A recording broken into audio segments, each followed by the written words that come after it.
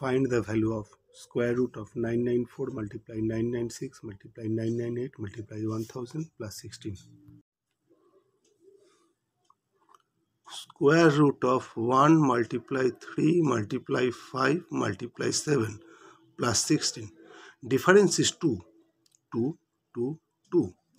equals to 121 which is 11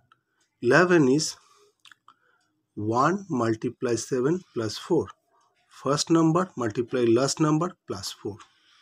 square root of 2 multiply 4 multiply 6 multiply 8 plus 16 which is 400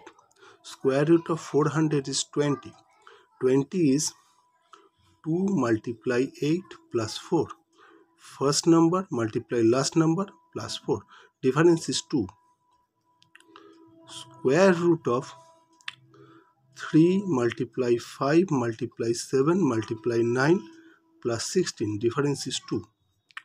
equals to 961 which is 31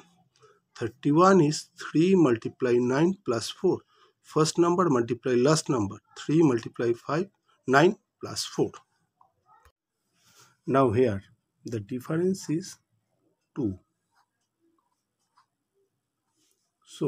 the result is first number multiply last number plus 4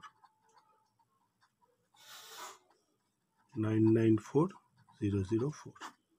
thank you very much